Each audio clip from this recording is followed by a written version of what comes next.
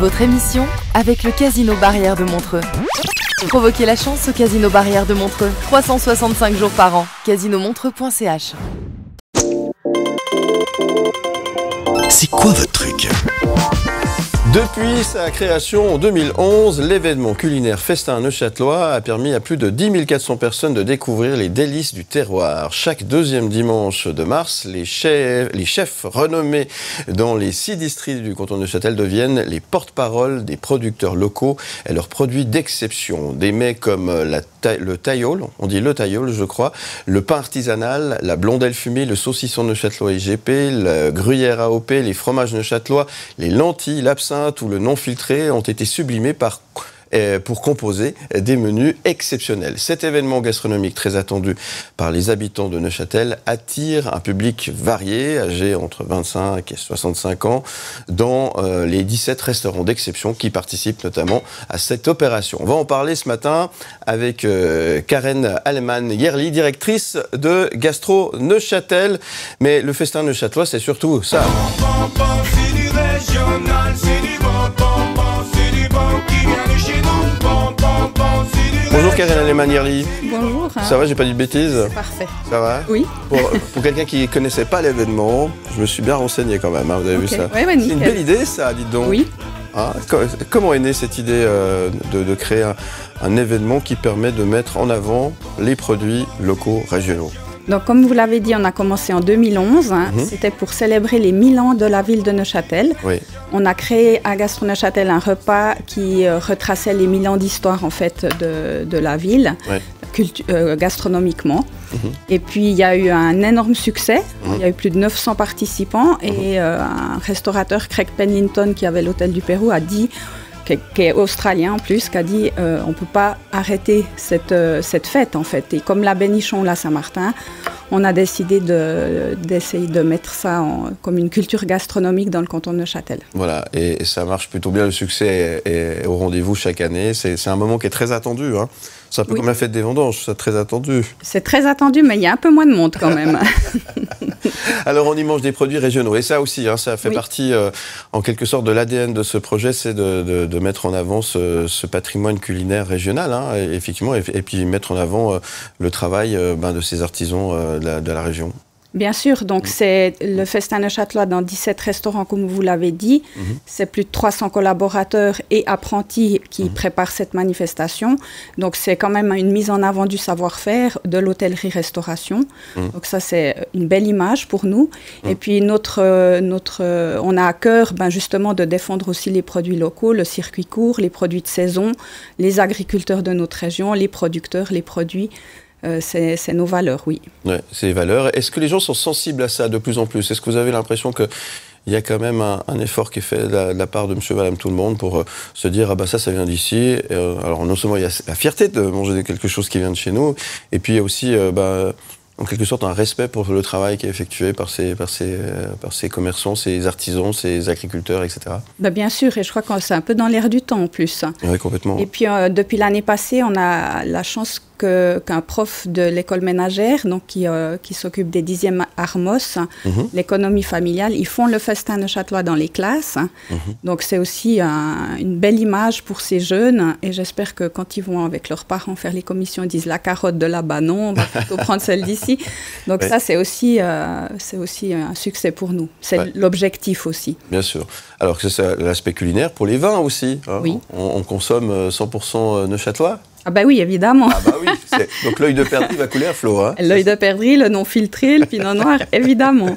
Évidemment. Et l'absinthe. Et l'absinthe, Bah oui. évidemment, évidemment. Et puis on a des bonnes bières neuchâteloises, je ne veux pas les oublier non plus. Voilà, c'est important de, de le rappeler effectivement. Alors pour participer à, à- à cette, à ce grand festin, euh, j'imagine qu'il faut s'inscrire à l'avance. Alors comment faut-il faire? Quels sont les euh, même sur des panneaux châtelois, on peut participer? Oh, je sais pas. Oui, bien sûr. On vous a- D'ailleurs, l'autoroute va jusqu'à Neuchâtel, hein, si jamais. Oui, et en plus, nous, on passe aussi dans les tunnels, donc euh, profitez Voilà. que vous n'avez pas d'excuses pour pas y aller. Exactement.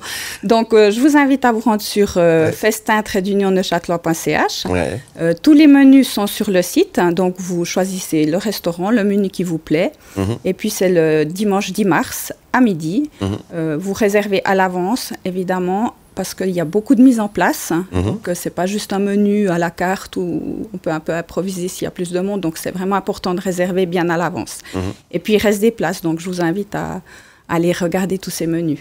Et puis l'état d'esprit, alors c'est effectivement festif, c'est cool, c'est sympa, c'est convivial. Oui. C'est un peu euh, tous ces superlatifs que je viens de- d'exprimer, c'est ça? Ben, c'est des grandes tablées, donc Mhm. la règle c'est minimum 8 personnes. Donc Oui. si vous êtes 4, vous allez vous retrouver avec euh, d'autres gens que vous connaissez pas. Mhm. C'est servi sur plat, donc c'est aussi pour la convivialité de pas c'est pas un défilé d'assiettes euh, qui va passer devant vous. Donc vous mangez aussi ce que vous aimez, vous vous resservez les, Bien mange- sûr. les gens mangent tout. hein. Mhm. Souvent ils disent ah il y a beaucoup, le menu est énorme, mais Ouais. vous inquiétez pas les Mais gens, ils- tout disparaît. tout disparaît.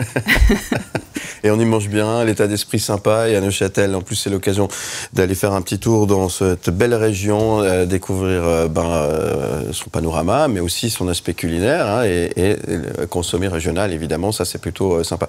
J'ai dit le tailleul, c'est le ou la tailleul non c'est la C'est tailleule la hein, oui, et la ça. bondelle parce que vous avez dit blondelle je crois. Ça va me faire tirer les oreilles. Bon, pardonnez-moi pour ça. Les poissons diront rien, vous inquiétez pas. En tout cas, j'en profite de faire un petit clin d'œil à, à tous les Neuchâtelois qui nous écoutent et qui nous regardent parce que vous êtes de plus en plus nombreux. Merci pour cela aussi. Qu'est-ce qu'on peut vous souhaiter euh, aujourd'hui, euh, Madame la directrice? Un bon Ben, appétit ou pas oui, évidemment, bon Ouais. appétit. Et puis euh, que cette journée du 10 mars soit magnifique hein, pour Mhm. les clients, mais aussi pour les collaborateurs. Comme je disais, c'est une belle mise en avant de leur savoir-faire. Et puis, ben, de, je, je souhaite qu'on remplisse un peu tous ces restaurants. Mhm. Parce que plus il y a de monde, plus la fête est belle. Bon, vous nous avez ouvert l'appétit, vous nous avez donné faim hein, ce matin, ça c'est sûr. Donc le 10 mars, tous à Neuchâtel. Le site internet, je vous laisse rappeler. Festin, trait d'union, neuchâtelois.ch. Facile. Oui. Voilà, on vous souhaite un bon appétit. Merci d'être venu euh, de si bon matin. Merci. Et puis on vous dit à bientôt sur M et sur Canal+. Et puis Merci on peut terminer comme ça. Oui, Ça c'est l'hymne du festin Neuchâtel, Oui. hein, c'est ça. hein. c'est MC Roger. MC Roger qu'on salue aussi au passage. Merci euh, beaucoup Karen Aleman Irli, directrice de Gastro Neuchâtel. À très bientôt. À bientôt, merci Canal+. beaucoup.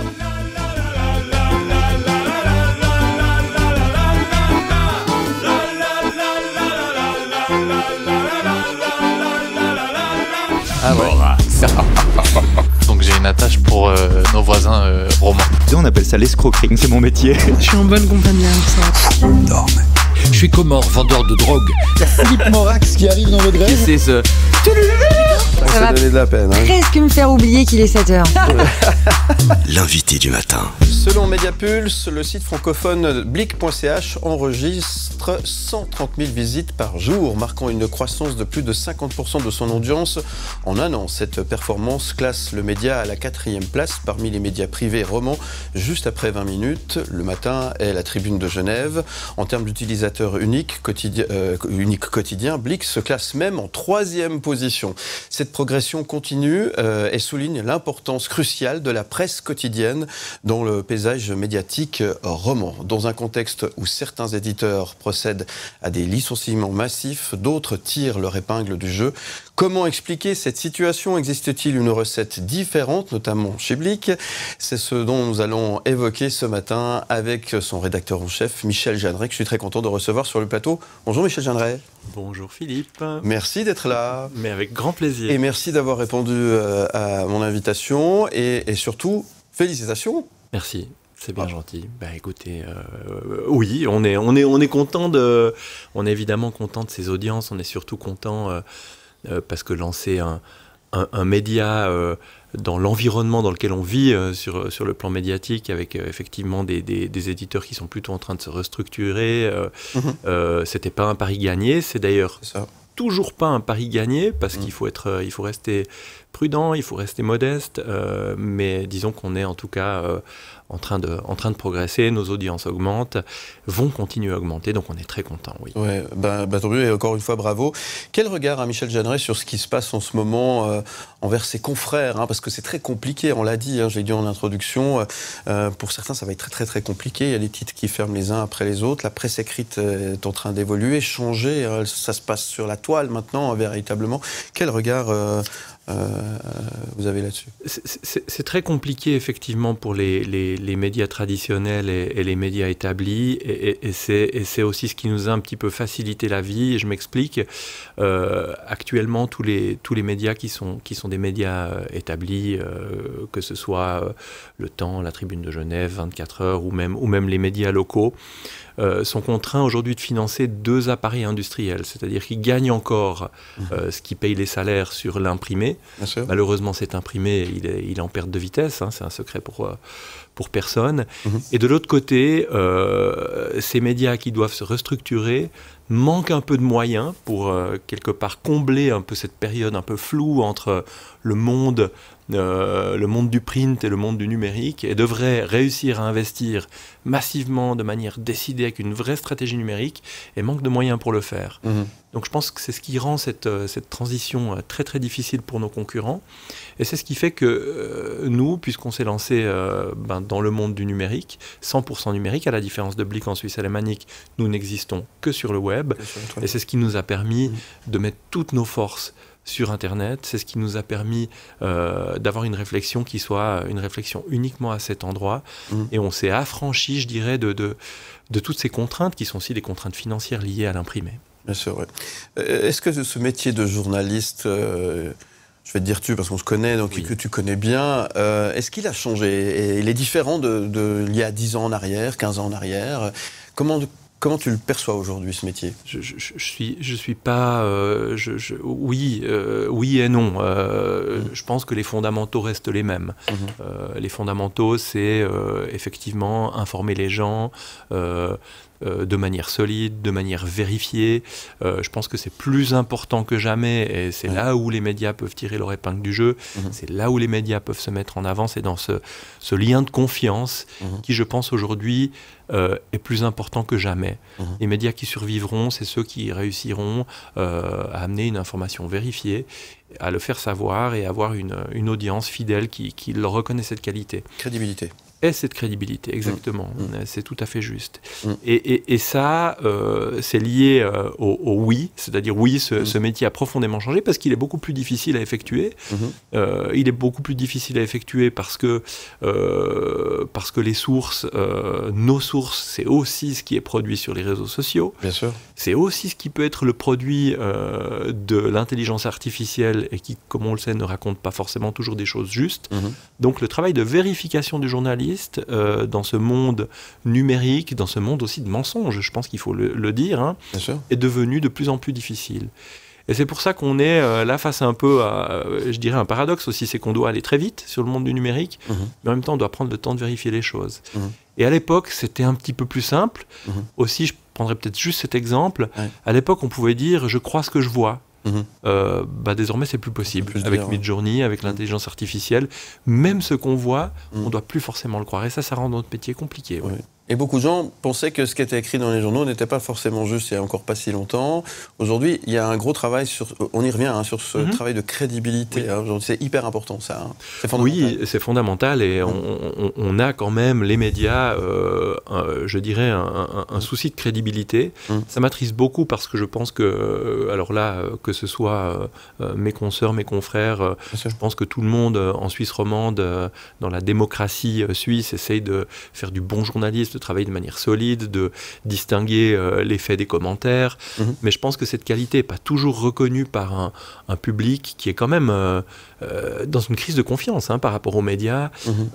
alimenté aussi par les gens qui racontent parfois n'importe quoi sur les réseaux sociaux. Mhm. et les médias sont attaqués, comme les institutions, comme les politiques. voilà, on nous, a, on nous affuble à peu près de tous les termes, ce qui n'est pas très grave, mais, mais, mais nous oblige effectivement à, à regagner cette confiance et ça, c'est un chemin qui, prend du temps et qui est, qui est c'est une pente assez raide. Hein. Euh, voilà.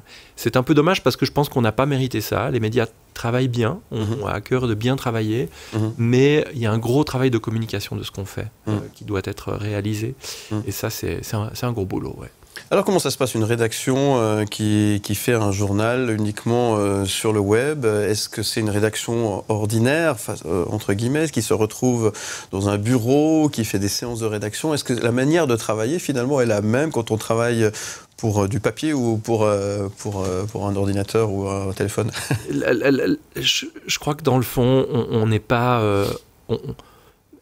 J'aimerais vous répondre qu'on n'a réinventé la manière euh, de se mmh. parler, de construire des sujets, mais non, je crois qu'en fait, une rédaction numérique ressemble euh, à à peu près toutes les rédactions du monde, c'est-à-dire mmh. des gens qui, euh, c'est ma conviction, doivent se voir pour de vrai et n'être pas à 100% en télétravail, parce que je pense que faire équipe, c'est être mmh. ensemble, doivent se voir pour de vrai, pour réfléchir. À la base, il y a un sujet, à la base, il y a euh, un sujet auquel on donne un angle, une tonalité, dans lequel on essaie de mettre de l'intelligence, un regard euh, pertinent. Mmh. Mmh. Et ça, c'est le fruit d'une discussion. Et mmh. ça, euh, depuis que le journalisme existe, à peu près, c'est notre travail. après, ce qui change un peu, c'est qu'évidemment, alors, que, alors que certains médias ont cette contrainte aussi de l'imprimer, nous, on peut s'affranchir de pas mal de contraintes. Ça veut dire quoi? Et ça, ça, a un, un, impact important. Ça veut dire que si on veut écrire un article euh, en, ce qu'on appelle bullet point, en point, mhm. Ben on peut le faire. Mhm. Parce qu'on n'a pas aussi un produit imprimé à faire qui ne, qui ne se marie pas bien euh, mhm. avec, euh, avec, avec les boulettes. Si on a envie d'écrire un, article à la première personne, y mettre du jeu pour assumer une part de subjectivité, pour être un peu honnête dans sa subjectivité, on peut le faire. On n'a jamais vu un article en jeu, ou très rarement, dans la presse écrite, sur un support imprimé. Donc la palette, je dirais, est plus large, et tout l'art, c'est d'essayer de l'exploiter au mieux les règles ont un petit peu changé quand même. Ça change quand même certaines choses à ce niveau-là. C'est le support qui a changé, on est bien d'accord? Oui, oui. Les règles, ça dépend de quelles règles on parle. Si c'est les, si les, règles déontologiques, euh, euh, non, je dirais qu'elles sont les mêmes. Euh, et, probablement, et, probablement d'ailleurs que, que, que, les médias y sont encore plus attachés aujourd'hui qu'hier, pour les raisons mmh. que je viens d'évoquer précédemment. Bien sûr. Mais, mais, mais non, c'est pas vraiment les règles qui ont changé. Je crois que c'est vraiment la palette à disposition, mmh. c'est l'accroissement de la vidéo, mais encore une fois, la vidéo, 24 heures en fait, la tribune de Genève en fait, le temps en fait, mmh. ça n'est pas propre aux médias purement numériques. Je vous le disais en entrée de discussion, mmh. ces médias doivent, euh, doivent essayer de faire les deux. et puis ça, aussi, il faut s'adapter à l'ère du temps. Hein, Bien sûr. Effectivement. Euh, évidemment, on doit être au taquet sur tout ce qui se passe au niveau de, l'actualité. Euh, là, il y a les votations qui se déroulent ce week-end.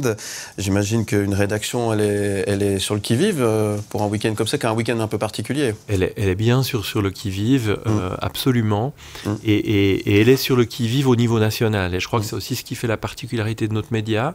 Et peut-être que c'est ce qui fait aussi sa valeur. Euh, c'est euh, d'avoir un regard qui euh, ne soit pas trop roman. et ça, je pense que c'est ce qui nous distingue des autres. On a une équipe de 10 personnes qui sont des journalistes alémaniques, mais qui sont des spécialistes de tout ce qui est journalisme politique. Politique, Et eux, bien sûr, euh, c'est plus nous qui allons les épauler que le contraire, puisqu'ils sont, ils sont vraiment une, grosse équipe. Hein. en Suisse alémanique, c'est 250 personnes.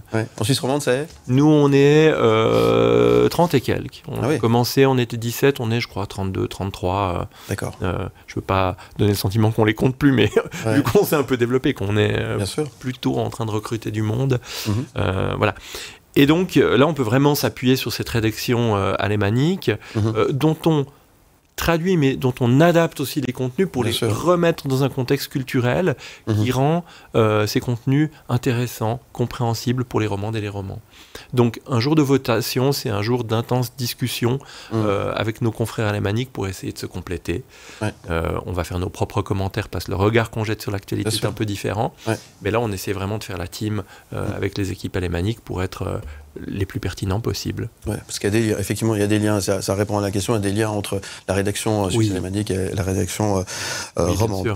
Ah, J'ai une question qui va nous sortir un petit peu du cadre. Qu'est-ce qu'aurait envie de dire le rédacteur en chef de, de, Blick Romandie à notre présidente Viola Mert Là, on regarde sa photo. Qu'est-ce que vous avez envie de lui dire aujourd'hui? Qu'est-ce que Attends, je te retutoie. Qu'est-ce que tu as envie de lui dire? C'est une bonne question. Quand je, la vois comme ça, il n'y a pas 18 000. Il y, a ou 10 000 questions qui, me viennent, mais peut-être pas une seule. Ouais. Euh, j'ai envie de lui dire, euh, soyez claire, chère madame, euh, dites-nous vraiment ce que vous avez en tête euh, par rapport à notre système de défense. Parce que là, on se rapproche de l'OTAN quand même, Mhm. Euh, je dirais, en, en serpentant, en se cachant derrière les portes. Mhm. Et tout le monde se demande un peu où, où ça va nous amener. Mhm. Et je pense qu'une démocratie, c'est la, la clarté de l'intention de ceux qui dirigent nos institutions. Mhm. Et je trouve que Madame Amerde n'est pas très claire euh, par rapport à ses intentions et ce qu'elle veut faire de notre système de défense. Voilà. Qu'est-ce- Qu'est-ce que tu dirais à M. Berset? Monsieur Berset, euh, je lui dirais, euh, je lui, est bien coiffé. je lui dirais, à part qu'il est bien coiffé, je lui dirais, euh, euh, qu'est-ce que vous allez faire au Conseil de l'Europe Euh, Profitez de vos 30, allez pêcher, faites un truc cool, euh, et, et- et- et- et rejoignez une institution qui compte vraiment, et pas, et pas ce truc, et pas ce truc dont tout le monde sait pas vraiment à quoi il sert justement. Mm. Voilà, Re- repose-toi, Alain. Voilà ce que je lui dirais. À Madame Porchet, qu'est-ce que tu lui dirais? À Madame Porchet, je lui dirais, chère Madame Porchet, vous euh, devriez, je pense, euh, axer votre euh, discours davantage sur les questions environnementales et climatiques, puisque c'est un sujet que vous maîtrisez bien, et peut-être laisser un peu plus de côté les questions sociétales qui ne vous ont pas forcément soufflé du vent dans les voiles au moment des dernières élections fédérales. À M. Nantermo, qu'est-ce que tu lui dirais Qui est venu nous trouver aussi euh, il y a quelques jours. À Monsieur Nantermo, je lui dirais, cher Monsieur Nantermo, continuez la provocation, euh, parce que la provocation est fertile, Ouais. euh, et que ce pays doit commencer par s'engueuler pour trouver des compromis et avancer tel qu'il le fait depuis la création de la Suisse moderne en 1848. Et à Michel Jeanneret, si, si tu l'avais devant toi, qu'est-ce que tu lui dirais Euh, pff, bonne chance, mon gars. je, je sais pas. euh, je suis pas sûr que j'aimerais l'avoir devant moi. euh, vrai non pas qu'il soit, euh, non pas qu'il soit désagréable, mais mais non, j'en sais rien. C'est, ça, c'est une, ça, c'est une sacrée question. Ouais, bonne chance, quoi, parce que le chemin est encore long. Mm. Euh, non, je lui dirais, non, je lui dirais probablement. Continue d'y mettre euh, la, la- la même énergie Mm. euh, et, la même, euh, et la même passion. Parce que je pense que c'est quand même ce qui fait la différence au final. C'est. Euh, euh, faut pas faire les choses à moitié. Quoi. Et on est dans une industrie où il faut y aller à fond, euh, il faut avoir le cerveau qui est occupé par cette chose-là. Alors il faut gérer aussi d'autres euh, d'autres choses. On a une famille, on a voilà, mais Mm. mais je pense que on peut pas faire dans la demi-mesure. Ouais. Euh, voilà. Ah ouais. Ça Ça va de la peine. hein. presque me faire oublier qu'il est 7 heures. L'invité du matin. Matin, mon invité, c'est Michel Jeanneret, rédacteur en chef euh, de Blick, euh, version française pour la Suisse romande. Mais oui, C'est juste hein, ce que je viens de dire. oui c'est juste. Trentaine hein, de, de- de personnes sous tes, sous tes ordres. T'es pas tout seul. Il y a, t'as du monde autour de toi pour la rédaction. Ah, Raconte-nous un peu comment Ah, ça se passe. j'ai- beaucoup de monde. Ouais, non, non, j'ai- heureusement beaucoup de monde. Ouais. Euh, on a une. euh, quand on lance une, un nouveau média, on ne doit pas s'embarrasser de trop d'hierarchie. Donc on a une hiérarchie qui est très plate. On a d'ailleurs commencé. J'ai lancé ce média avec Thomas Deléchac, qui est Mhm. directeur de la rédaction. Mhm. Euh, donc on co-dirige euh, Blick tous les deux. Lui avec un regard. euh, et puis ça c'est aussi ce qui est aussi notre média original. Lui avec un regard qui est vraiment un regard de communicant. Mhm. Parce que c'est vrai que moi, je, je ne suis que journaliste, euh, Mhm. ce qui est déjà une grosse tâche. Mais c'est vrai que euh, bah voilà, je suis pas non plus un digital native, comme on dit. Euh, et, et même si on est un, un utilisateur euh, passionné comme moi des outils numériques, ça ne veut pas dire qu'on sait forcément en maîtriser toutes les ficelles. Et là, Thomas est vraiment un, un- un pro de la communication numérique, un pro des réseaux sociaux, un pro de tous les canaux de distribution et stratégie d'audience. Mhm. Et ça, je pense que le fait de co-diriger ce, ce média nous a beaucoup aidé. Vous êtes complémentaires alors? On est très complémentaires. On était au début juste, euh, on n'avait que ce niveau hiérarchique, et puis on a Mhm. fini quand même par Mhm. devenir un tout petit peu plus conservateur dans notre manière de nous structurer, puisqu'on a créé des rubriques. Euh, une rubrique news et enquête qui est dirigée par Antoine Hurliman, Mhm. une rubrique sport qui est dirigée par Tim Guimin, et une rubrique qu'on appelle Nouvelles Audiences, qui est dirigée par Camille Berthollet. Euh, et tout ce petit monde euh, constitue euh, le- no- no- notre modeste board à l'échelle de notre média qui va encore être appelé à évoluer euh, dans les mois et dans les années qui viennent. Mhm. Vous n'êtes pas sans savoir que Ringy a racheté ces titres, ces titres historiques que sont l'illustré, Oui. PME Magazine. Mhm. qui était lui un titre historique d'Axel Springer, mais bon, on va la faire courte, Ouais. Euh, et, euh, et aussi Gomio. Euh, voilà. Donc tout ce petit monde va se retrouver sous un même toit, Mhm. avec, s'ils sont un peu malins, des potentiels de collaboration. Collaboration, effectivement, ça c'est C'est important. un peu trop embryonnaire pour en parler ici, mais Bien enfin, sûr. on est en train de discuter activement pour savoir comment on peut se tenir chaud hein, quand Ouais. il fait froid dehors. Tu viendras nous en reparler. alors. Avec grand plaisir. Oui, avec grand plaisir. Avec grand plaisir aussi. L'intelligence artificielle, on l'a évoqué tout à l'heure en Oui. première partie. Euh, Est-ce qu'elle a déjà euh, une place importante aujourd'hui au sein d'une rédaction comme celle de, de Suisse Oui, elle a une place qui, qui, euh, qui va euh, alors gagner en importance clairement Ouais. euh, dans les mois et dans les années qui vont venir, mais même Mm. déjà dans les mois. Mm. Mais oui, et- et- elle a une place importante à plein d'endroits. On développe, peut-être si je donne un ou deux exemples, il faut être concret quand on parle d'intelligence artificielle. On a développé à l'interne déjà un, un outil de retranscription de l'audio au texte. Mhm. Et ça, ça nous aide beaucoup. Quand on fait une interview, tous les journalistes le savent, c'est terrible de devoir se retaper la bande euh, Mhm. d'une heure euh, pendant trois heures pour la Mhm. retranscrire. Euh, chacun a ses méthodes. Ça, ça nous aide beaucoup. C'est 40% de travail en moins, c'est ça? Ouais, je pense à peu près à ce Ouais, niveau-là. Donc ça ouais. nous permet d'être plus performants. On a aussi des outils qui sont des outils qui nous suggèrent ce qu'on appelle les métatitres. C'est les titres qui sont repérés par les algorithmes de Google et qui nous permettent d'être mieux référencés. Donc ils nous, ils nous améliorent ce Mhm. qu'on réussit peu à faire avec notre cerveau. Mhm. Ça c'est bon pour un meilleur référencement. Mhm. On a aussi, euh, on est en train de développer un outil qui, sur la base de notre ligne éditoriale en Suisse romande, arrive à repérer dans tout l'inventaire des articles en allemand ceux qui sont les plus près, un, de notre ligne euh, et deux, des impératifs d'audience.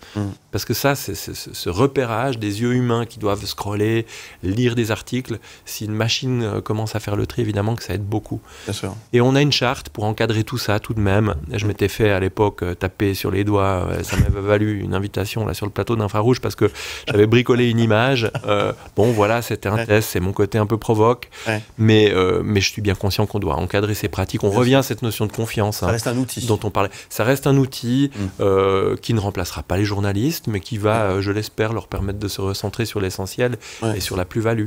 Ouais. Euh, voilà. En tout cas, c'est comme ça, je l'espère, que les éditeurs vont utiliser l'intelligence artificielle. Inté- inté- et intelligemment. Parce que finalement, le problème de l'intelligence artificielle, comme je le dis souvent, c'est un problème humain, rien d'autre. Absolument, c'est Voilà. ce qu'on en fait, bien Ouais. sûr. C'est un bon résumé. ouais. Merci euh, beaucoup. Donc il y a- y, y quand même, il y, a la- il y a la recette et il y a la touch, j'aimerais quand même, parce que euh, avec Blick là quand même, un petit peu t'as amené ta touch, parce que c'est ce qui- si ça fonctionne aujourd'hui, c'est que c'est que derrière il y a quelqu'un qui Je- je- mène la barque. Ça, c'est toujours un peu, c'est toujours un peu, euh, c'est une question un peu tricky, ça, parce que, parce que, Mm. parce que personne, euh, un, euh, n'est indispensable, deux, Ouais. n'est irremplaçable. Ouais. Mais, mais, mais, mais oui, j'espère, j'espère quand même que, que ma conviction, que mes idées, euh, je parlais de passion, je crois que c'est Mm. des choses que je peux quand même affirmer, euh, je l'espère, sur, sur, sur ce qu'on fait au quotidien. Mm. Euh, Peut-être aussi euh, mon, mon esprit euh, frondeur et provocateur. Je me sens très très à l'aise dans ce média qui, qui vient un peu bousculer les codes, C'est sûr Qui, que allusion. qui ose effectivement. Moi j'aime bien provoquer. C'est vrai Mm. que je, je, je- je crois Ouais. qu'à peu près tous les, tous, les, tous les éditoriaux ou commentaires que je fais Mm. sont probablement les 120% de ce que je pense réellement parce que j'estime avoir cette responsabilité d'être l'animateur d'un débat. Ouais. Et le provocateur, vraiment au sens latin du terme, quoi, mettre les choses en mouvement. Euh, je pense que ça, c'est la vertu de la provocation Mhm. qui doit être fait avec, euh, avec intelligence. Et là, Dieu merci, euh, à moi tout seul, je n'en aurais pas assez, mais je suis bien entouré, donc, donc on arrive à, Ouais. à faire en sorte que cette provocation soit pas vécue comme quelque chose d'idiot, quoi. Je Mm. c'est vraiment ça l'enjeu. Bien sûr. Et probablement que ce côté provoque, c'est ouais, c'est assez moi, ça. Je pense que tout le monde sera Donc tout va bien. pour le dire. Tout va bien, ouais, tout, tout, tout va bien. C'est intense, mais ça va bien. C'est l'heure de la rafale des questions. La rafale de questions. Qu'est-ce qui euh, te plaît pas dans notre pays? Ce qui ne me plaît pas, Mhm. euh, pff, rien. Quel serait le meilleur cadeau que tu pourrais recevoir? Euh, L'amour éternel euh, de mes enfants. Combien de fois le téléphone sonne-t-il avant que tu répondes? Ça dépend qui. Je note. de quel sujet pourrais-tu parler pendant des heures? De bouffe. J'adore la gastronomie, j'adore manger, j'adore faire à manger. D'accord. De- Qu'est-ce qui t'a rendu fier dernièrement? Euh, oh là là, mais c'est- terrible tes questions. Qu'est-ce qui m'a rendu fier dernièrement Euh, euh, C'était hier soir à table d'entendre mes, euh, mes enfants euh, se passionner et discuter avec intelligence des prochaines votations. Quelle euh, résolution as-tu prise pour cette année 2024 Euh, manger moins? Est-ce que tu préfères être riche ou célèbre? Ah, pff, je me fous un peu des deux. Un peu des deux? On s'en fout Donc un peu des deux. Un peu des deux. Un peu plus riche et peut-être un peu plus célèbre. Ça, c'est la musique que tu as Oui. choisie. Alors, euh, euh, Lola Young, Young, Oui. pourquoi? Ben parce que, euh, un peu à, à l'image de ce que je disais, dis- la, la- la passion, elle, elle est, elle est en souffrance, cette femme, un peu comme le monde. le- euh, et moi, j'aime pas les tièdes, euh, et j'aime pas qu'on susurre. C'est pour ça que j'aime pas ces chanteurs français qui, euh, qui semblent geindre derrière un micro. J'aime qu'on gueule, quoi. Voilà, c'est un peu moi, c'est un peu Blick, et c'est Lola Young. Voilà pourquoi. Merci. Alors là, elle gueule pas encore, mais après, ça vient. Après, ça va gueuler. Ouais, ouais. Merci beaucoup, Michel Jeannin. Merci à toi. Un vrai Philippe. plaisir de te recevoir sur le plateau. Je te dis à Plaisir bientôt. partagé à bientôt, oui. Et qu'est-ce que je peux te souhaiter à part une belle journée? Oh, bah c'est déjà pas mal, tu sais. Déjà pas mal? Alors, belle journée. remercie. Belle journée à toi aussi. Balance ton sport. Balance sur Sport les News, on, on part euh, dans le canton de Neuchâtel à nouveau ce matin. On va parler d'une grande fête du ski de fond qui aura lieu à la vue des Alpes et on en parle ce matin avec votre invité euh, Léo de Garrigue. Jérémy Huguenin, bonjour. Bonjour. Merci d'être avec nous ce matin. Pendant les mois d'hiver, la Dario Colonia Fun Parcours sillonne toute la Suisse et initie les plus jeunes au ski de fond.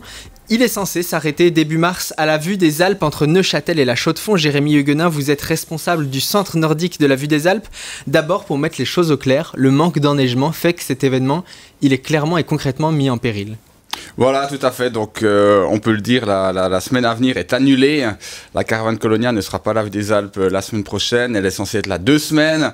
Euh, la semaine suivante n'est pas encore annulée, mais néanmoins, les, les- prévisions météorologiques ne sont absolument pas favorables. Alors on va parler de ce manque d'enneigement. D'abord, si elle peut avoir lieu, qu'est-ce que c'est que cette caravane Colonia Il s'y passe quoi concrètement quand elle s'arrête à la vue des Alpes? Voilà, donc la caravane Colonia, en fait, est une caravane, il en existe quatre en Suisse, euh, qui est remplie de skis. En fait, il y a énormément de paires de skis dans cette caravane, des chaussures, des bâtons, tout pour faire du ski de fond pour les jeunes. Et puis, on peut équiper jusqu'à une quarantaine de, de- de jeunes à la fois. Donc, c'est-à-dire qu'il y a plus de skis, parce qu'évidemment, euh, euh, il faut plusieurs pointures de, de chaussures, etc. Et puis, euh, bah, elle sillonne toute la Suisse, ces quatre caravanes. Et puis là, en l'occurrence, bah, elle s'arrête à la vue des Alpes. Elles auraient dû s'arrêter ces deux prochaines semaines. Et là, on a des jeunes, on accueille des jeunes, des écoles, donc, qui, qui viennent par demi-journée euh, s'initier au ski de fond. Alors, Ça s'appelle Fun Parcours, c'est pourquoi c'est, j'imagine, assez ludique comme façon de Oui, exactement. Donc on est, on est loin de la notion de mettre des skis, d'aller faire un tour de 3, 4, 5, 10 km à, à ski de fond. On reste vraiment dans une petite zone et puis on fait euh, des jeux, c'est tout, tout est vraiment euh, ludique et, et attractif, passionnant. Dans cette caravane, il y a aussi du matériel justement pour euh, rendre les choses ben, passionnantes pour les jeunes, donc des... euh, des petits sauts, des, des ballons, des donc euh, donc voilà un petit peu le, ces deux heures de temps où les jeunes sont sur les skis, vraiment s'amusent avec les skis au pied, beaucoup de chutes parce que c'est le ski de fond c'est pas facile au début mais toujours avec le sourire donc c'est c'est vraiment plaisant. La première semaine a été annulée à la vue des Alpes, la deuxième, on verra un peu plus tard. Comment est-ce qu'on prend ce genre de décision? Bon, alors, euh, la décision, en l'occurrence, cette année, elle est assez facile à prendre. Euh, Il y a zéro neige, tout est vert. Et puis, ils en annoncent euh, pas. Donc, euh, donc voilà. Après, bah, c'est avec, bien sûr, un peu d'amertume. On sait que ça fait partie du jeu. Hein, quand on veut faire quelque chose avec la neige, eh ben, faut avoir la matière première. Et puis, dans une station dans, dans le Jura, encore plus, on sait que ça peut faire défaut. Et puis, chacun en est bien conscient. Les enseignants espèrent toujours bah, pouvoir amener leur classe faire ça. Mais on sait qu'il y a un, un point d'interrogation. Certaines fois, on peut se projeter un peu plus parce qu'on a encore euh, 50 cm de neige euh, fin février, et puis on, sait que ça va rester, euh, qu'on va pouvoir faire. Et puis d'autres fois, bon ben voilà, c'est pas possible, mais on remettra ça l'année prochaine. Si on fait quelques pas de côté, elle illustre cette décision un hiver euh, brutal pour les stations. On a parlé hier de Molaison qui par exemple a déjà tiré le rideau sur sa saison hivernale. Comment vous la raconteriez un peu de, votre point de vue? Vous y êtes la saison hivernale euh, à la vue des Alpes? Ouais, bien sûr. Bah, ce sera une saison, une saison mauvaise. hein, on espère toujours mieux que ça. Après, faut, on est un petit peu. Il n'y a pas eu que du mauvais. hein. À la Vue des Alpes, on a ouvert le 26 novembre, on a fermé le 23 janvier. Jusque-là, on a pu skier non-stop. Alors, certes, pas toujours dans des conditions incroyables, avec euh, souvent pas beaucoup de kilomètres de piste, mais néanmoins, on était ouvert, on a eu beaucoup de monde. Donc, c'est presque deux mois d'ouverture quand même. C'est déjà bien plus que l'hiver dernier. À une bonne période quand même, parce que le début d'hiver est très intéressant en termes de économiquement, puis c'est finalement ça qui nous fait vivre quand même. Donc euh, tout n'est pas négatif dans cet hiver, mais bien sûr qu'une saison qui se termine le 23 janvier, euh, euh, c'est pas c'est pas ce qu'on espère quoi. Quand on est responsable d'un centre nordique comme vous, d'une station qui n'a pas de neige, c'est quoi le quotidien actuellement? Alors c'est un quotidien un peu ralenti, c'est sûr. Après, il faut savoir que quand il y a de la neige, euh, puis qu'on est passionné en plus, on, on bosse euh, comme un fou, et puis toute la toute l'énergie est mise euh, dans cette activité-là. Après, j'ai la chance d'avoir aussi euh, d'autres activités qui sont mises de côté euh, quand il y a de la neige. Donc, on commence déjà par récupérer un peu déjà physiquement un peu de sommeil. Et puis euh, et puis ensuite récupérer un peu le retard accumulé dans les autres activités. Et puis euh, voilà quelques un petit peu de travail par-ci par-là. Et puis ben aussi un petit peu de temps libre quoi faut l'admettre. Pour finir, la probabilité que la Dario Colonia Fun Parcours s'arrête à la vue des Alpes d'ici la deuxième semaine de mars, elle est à combien, vous diriez aujourd'hui Oh, c'est la probabilité du désespoir, je crois, parce qu'il semblerait que, que les températures vont remonter la semaine prochaine. Euh, allez, on va dire 5%. 5%. On vous le souhaite. En tout cas, merci Jérémy Huguenin d'être venu nous trouver ce matin. Si les étoiles s'alignent et surtout que la neige tombe, le Dario Colonia Fun Parcours s'arrêtera du 11 au 15 mars prochain à la vue des Alpes. Merci beaucoup. De 6h à 9h, écoute ou regarde le 6-9 de Morax. L'invité du matin. La nouvelle édition du Salon du Livre se dévoile avec euh, enthousiasme ce matin sur M le Média et sur Canal+. Notez bien les dates, c'est du 6 au 10 mars prochain à Palexpo. Euh, Palexpo qui euh, redeviendra le centre névralgique de la littérature avec la présence d'auteurs renommés, de talents émergents et de personnalités diverses. Le salon offrira 5 jours d'échanges littéraires et de débats, des invités d'honneur qui animeront pardon, les discussions, des événements spéciaux, des expositions et des remises de prix sont prévues, ainsi que deux journées euh, dédiées aux professionnels. Et puis un rendez-vous incontournable euh, pour euh, les amateurs de littérature. Pour en parler ce matin, j'ai le plaisir de recevoir sur le plateau Nine Simon, directrice artistique du Salon du Livre. Bonjour. Bonjour. Merci d'être avec nous de si bon matin. Et puis, à mes côtés ce matin, Charlotte Jacobson, chroniqueuse littéraire, qui vous présentera le livre tout à l'heure de la romancière et scénariste Anne-Laure Les doigts coupés aux éditions Métaillé Noir. Bonjour. Bonjour Philippe. Comment ça va? Ça va très bien. Merci d'être avec nous. Le Salon du Livre dévoile une programmation qu'on annonce de haut vol. De haut vol. C'est ça? C'est- Vous bien. confirmez? Ah, je juste confirme. Voilà. Complètement. De haut vol, foisonnante, captivante, intéressante, déroutante. Tous les Voilà. superlatifs sont là. Voilà. C'est magnifique. Une édition qui s'annonce euh, donc euh, être un, beau, cr- un bon cru, comme on dit, pour cette année 2024. Un bon cru pour cette Mm. année 2024 avec un trio d'honneur euh, incroyable, trois auteurs suisses Mhm. qui nous font le plaisir de nous accompagner pendant cinq jours. Dont Joël Dicker. Joël Dicker, Léonie Bischoff et Elisa Soa du Sapin. Voilà, ils seront là durant euh, tout- toute la manifestation. Alors, hein. euh, Presque. Presque. Presque, ouais. Mais il y aura toujours un invité d'honneur euh, pas loin dans le salon, tous les Mhm. jours. Alors, j'ai dit en introduction, ils seront là, ces invités d'honneur, pour euh, animer. hein. Effectivement, ils seront là pour aussi euh, rencontrer celles et ceux qui, qui désirent avoir aussi une petite signature, un autographe, mais aussi peut-être pour, pour aiguiller les gens, hein, c'est ça? Oui, oui, c'est ça. En fait, ils sont là pour euh, rencontrer leur public, découvrir un nouveau public, rencontrer des auteurs ou des personnalités de leur choix à travers des cartes blanches. Et puis, ils nous donnent des impulsions en termes de thématiques. Mhm. Et ils seront présents euh, et euh, tout à fait disposés à échanger avec les lecteurs. Mhm. On fait le déplacement. C'est ce qui fait un petit peu la, la spécificité de, du salon du livre. hein. C'est un, un- un- comment dire, un aspect de proximité comme ça avec les auteurs. Ça, oui, c'est important. oui. Mm. 600 auteurs dans un même endroit pendant 5 jours, euh, Mhm. à la rencontre des publics, Mhm. euh, c'est quand même assez incroyable et unique. Mhm. Oui, donc. euh, Et Charlotte Jacobson ira forcément au salon du livre. Forcément, c'est un peu Noël. hein. Ouais, Ça après, Noël après Noël, Ouais. ouais. Alors, quand on s'appelle Charlotte Jacobson, qu'on va au salon du livre, on prend un, un grand caddie et on revient avec plein de bouquins. Comment ça se Oh passe non, non, non, justement. On peut pas se le permettre. Non, Ouais. mais on va toucher, on va regarder. Euh, on essaye de rencontrer aussi. Mhm. Mais c'est vrai que c'est très. Les salons, c'est toujours un moment très excitant parce que c'est le lieu où on va trouver. euh, euh, c'est exceptionnel. hein, on trouve Mhm. un peu toutes les librairies, toutes les nouveautés. Euh, c'est en général très bien mis en avant. Mhm. C'est le, le- le paradis pour les amoureux du livre. Est-ce que la littérature, le livre, se porte bien hein? Parce qu'on a, on est pas, il, y a quelques, il y a quelques temps en arrière, on était en train de dire que le papier s'était terminé. C'est pas le cas de la, de, de la presse aujourd'hui qui souffre, hein, qui, qui se transforme et qui devient une presse. euh, on en parlait tout à l'heure avec, euh, avec Michel Jeanneret euh, Dublic notamment, euh, qui devient une presse euh, électronique. hein. Euh, Est-ce que le, le livre euh, a aussi ce, comment dire, cette problématique selon vous, Nitimo? Alors le livre euh, se portait très bien en 2023 puisque le, notre salon était un beau succès. Il se porte très bien en 2024. Il n'y a qu'à voir Mhm. euh, le nombre d'auteurs, euh, d'exposants, de, de titres euh, qui, qui paraissent et qui... Enfin, venez, venez Philippe, la, semaine, la semaine prochaine, je- vous verrez. mais je, vous verrez je- que le je livre se vous promets que je vais lire.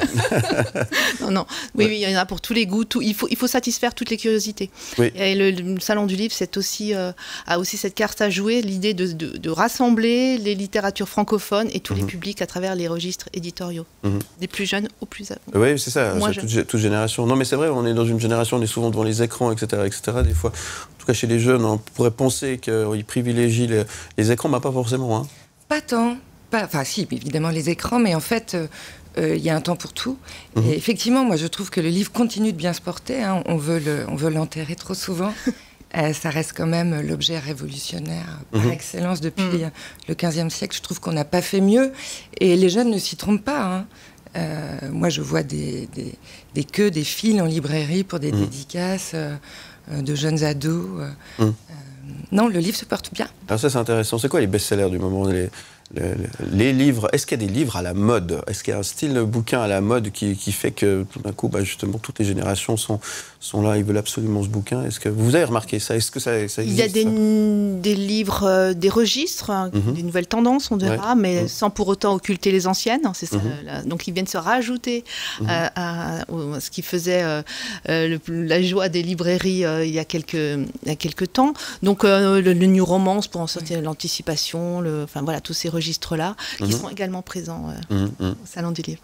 C'est le salon de tous les livres. Est-ce que la De bande dessinée a aussi son... son- son- Alors, la, la bande dessinée a, a- a ses lettres de noblesse depuis longtemps au, au Salon du Livre, à travers Mhm. une scène notamment, Mhm. Euh, qui est dédiée à- à- aux, aux auteurs et aux autrices de, de BD. Et puis, on a quand même Léonie Bischoff, Mhm. notre invitée d'honneur, qui incarne la vivacité, la Mhm. euh, vitalité des, de, cette, de ce registre. Et c'est une, une autrice suisse, donc il faut le mentionner. De 6h à 9h, écoute ou regarde le 6-9 de Morax.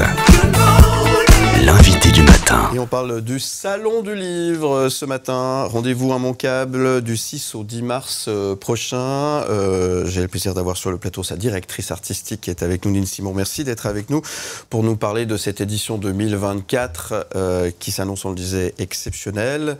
Je n'ai pas toute la liste des superlatifs que vous avez donnés tout à l'heure, mais il reste en mémoire, ça c'est sûr.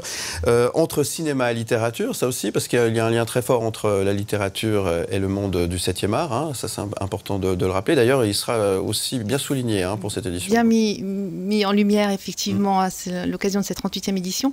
On a, hum, on a eu l'idée, euh, Mhm. la bonne idée je dirais, Mhm. de mettre en avant les liens très forts qui unissent le, lien, les- le cinéma et la littérature à travers une exposition, à Mhm. travers des rencontres, des auteurs présents, euh, pour justement euh, proposer au public une offre culturelle renouvelée. Chaque année, on donne... un- Il y a des incontournables quand on va au salon et puis il y a des nouveautés. Et des nouveautés. Et ça en fait partie. Et ça en fait partie, effectivement. Et puis, vous me disiez euh, tout à l'heure, euh, le polar va revenir en force hein, euh, cette année. Il y a d'ailleurs une collaboration qui, est, qui, est, euh, qui, se, qui, qui- qui va bien se passer avec le festival. bien. Je trouve plus mes mots. Entre, le, entre le Salon du Livre de Genève et le Festival lyonnais du Quai du Polar. hein. Absolument, on est Mm. très très heureux d'accueillir le Quai du Polar à travers une collaboration qui permettra le vendredi euh, 8 mars et le samedi 9 mars de proposer au public, aux passionnés de polar, 10 rencontres Mhm. avec des auteurs, autrices pur polar pour frissonner Voilà. Et au salon. Au salon. Au salon, oui. Voilà. Et, après chez soi, parce qu'on aura acheté le livre. Ouais. Et on pourra découvrir. Alors, on retrouve des auteurs connus et puis on, on- on découvre de nouveaux auteurs aussi. Ouais. Et le polar, est- c'est très à la mode hein, en ce moment. On, on entend parler de polar partout. D'accord avec cette. euh, Ça a toujours été très à la mode. Il y a un vrai public. C'est vrai, Je c'est pense que c'est pas une, une vague. Ah oui, oui, Oui, ça, longtemps, ça euh, fait longtemps. enfin, ça fait bien longtemps que ce n'est plus un sous-genre. Au contraire, hein, Oui. il y a Mm. de très grandes plumes. Et, euh, Mhm. et- oui, oui. Et j'aimerais qu'on on parle de ces fameuses cartes blanches que vous allez pouvoir proposer. Alors, on l'a dit, il y, a, il y a plein de, euh, il y aura- beaucoup d'autrices et d'auteurs euh, suisses notamment qui seront présents. Les, les invités d'honneur, on, on en a parlé euh, tout à l'heure. Euh, Qu'est-ce que c'est une carte blanche pour un, Mhm. Alors, carte- auteur qui vient au salon du livre? Alors une carte blanche, c'est hum, on propose aux trio, à notre trio euh, d'honneur, d'invités d'honneur, à savoir Joël Dicker, Léonie Bischoff et Elisa Suet du Sapin, Oui. de convier les auteurs, les autrices, les personnalités de leur choix et d'échanger avec eux euh, sur scène. Mhm. Donc c'est une petite carte blanche. Ça nous permet de mieux connaître euh, ben, ces, ces invités d'honneur parce que leurs choix euh, sont parfois étonnants et on est très content de leur faire plaisir aussi parce qu'ils sont, ils sont contents de pouvoir échanger parfois pour la première fois avec, avec ces personnalités-là. Mhm. Voilà, c'est ça une carte blanche. Mm. Qu'est-ce que vous avez envie de dire Qu'est-ce que vous avez envie de dire à celles et ceux qui sont encore pas venus au salon du livre pour leur donner envie de venir? Qu'est-ce que vous avez envie de leur dire, ben, Madame la directrice? que euh, si vous voulez découvrir, euh, rêver, voyager, Mhm. vous questionner, Mhm. eh ben, il faut venir au salon. En plus, c'est gratuit Mhm. sur inscription, salondilivre.ch. Mhm. En fait, c'est un bouillonnement, une effervescence continue pendant cinq jours autour de la culture. Je parle de la culture parce qu'il y a le livre, mais comme le livre mène à tout, il y a aussi des animations, il y a aussi des expositions. Mhm. Euh, voilà, c'est quand même assez rare de pouvoir faire, euh, de pouvoir, d'avoir accès à, à- à ce type de, d'objets ou d'objets culturels par rapport au livre, mais aussi Mhm. de d'activités culturelles. Euh, donc il faut venir. C'est pour tout le monde, c'est important de le oui, c'est pour tout le monde. En famille les- aussi En famille, Ouais. euh, Mm. seul ou accompagné, peu Ouais. importe. Vous n'êtes pas seul au salon. C'est pas un événement qui se veut élitiste. Pas du tout tout. le monde C'est populaire, Mhm. qualitatif, Mhm. Divertissant et pour autant euh, intéressant. Mhm. On peut s'intéresser en se divertissant. Ouais. Il faut être curieux aussi un petit peu. hein, pour- Il faut être curieux, oui. curieux, aller Alors, un peu. mais mais on, voilà, on parle des lecteurs, qui, qui, les habitués, nos fidèles euh, visiteurs qui viennent chaque année, mais vraiment, euh, c'est l'occasion de, de- de découvrir aussi. On n'est pas obligé d'être lecteur. On peut Mhm.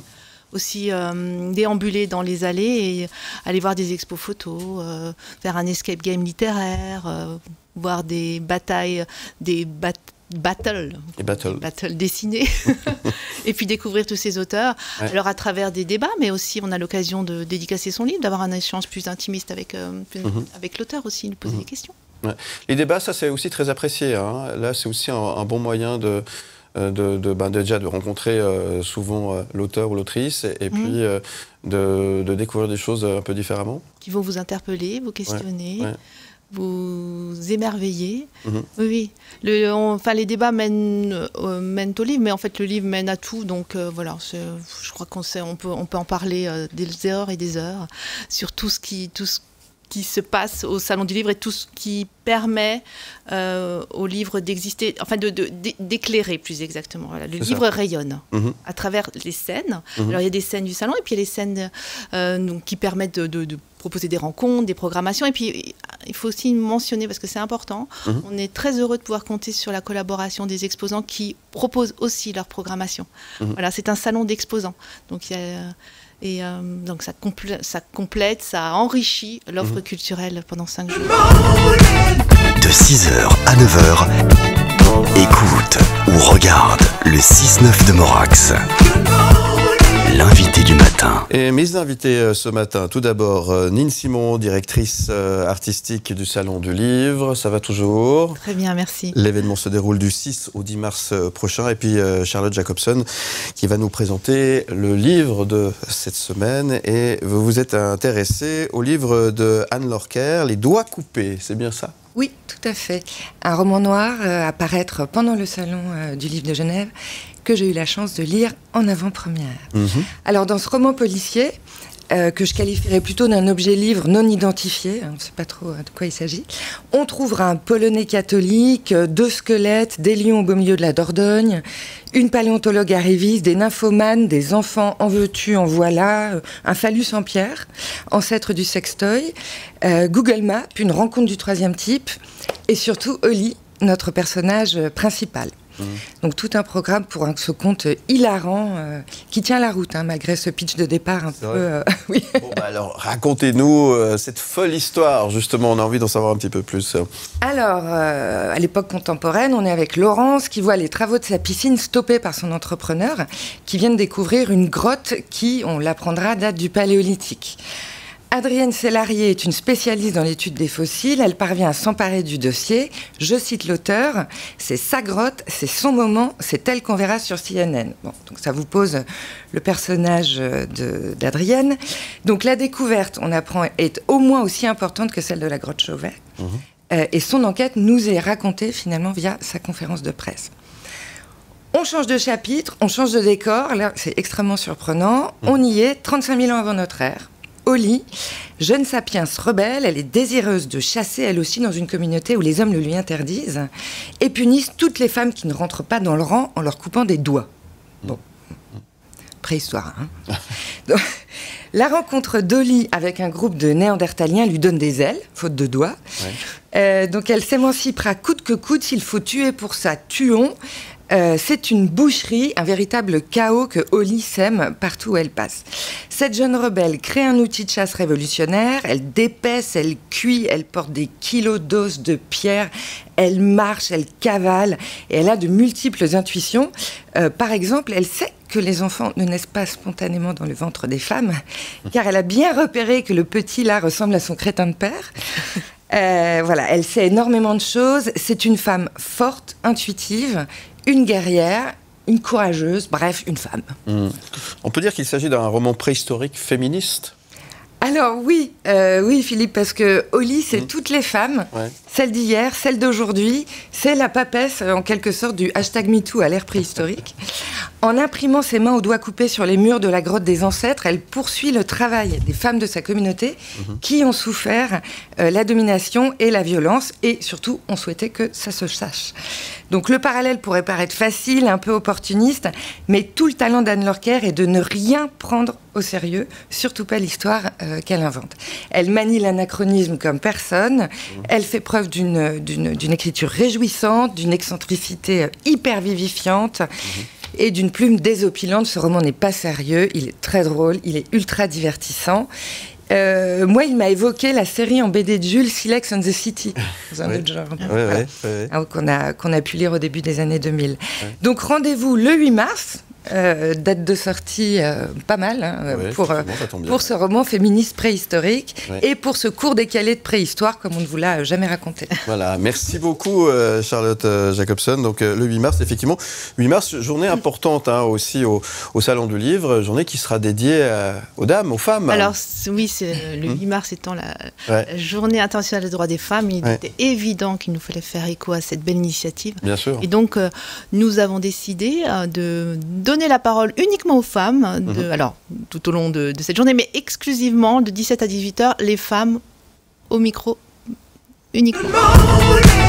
De 6h à 9h, écoute ou regarde le 6-9 de Morax. L'invité du matin. On parle du Salon du Livre. Notez bien les dates, hein, du 6 au 10 mars prochain. Euh, on en parle avec euh, Nine qui est euh, sur le plateau, directrice artistique du Salon du Livre. Et puis euh, Charlotte Jacobson, euh, qui est avec nous, qui nous a fait découvrir euh, son livre de la semaine tout à l'heure. Merci euh, beaucoup, euh, Charlotte. Le Salon du Livre, on le rappelle, euh, c'est gratuit. Oui, c'est Tout le gratuit. monde peut venir. Vous pouvez venir le, le mercredi, revenir le jeudi, le vendredi, c'est gratuit. C'est gratuit, mais par contre, il faut s'inscrire. Hein. Oui, salondulivre.ch. Voilà. On s'inscrit tout simplement et là, on obtient tout simplement un QR code. Voilà, absolument. qui est Tout finalement simple, le, le sésame pour pouvoir entrer à Palexpo. hein. absolument. Bon, il y a le salon de la voiture là, en ce moment. Ils auront enlevé les voitures pour laisser la place au bouquin. hein. Enlever les voitures, nettoyer, tout est bien. Tout sera bien. Tout sera promis, bien. promis. Bon, Euh, on est un peu, on est dans quel état d'esprit quand on organise un événement tel que celui-ci quelques jours avant On est un peu nerveuse, on est comment?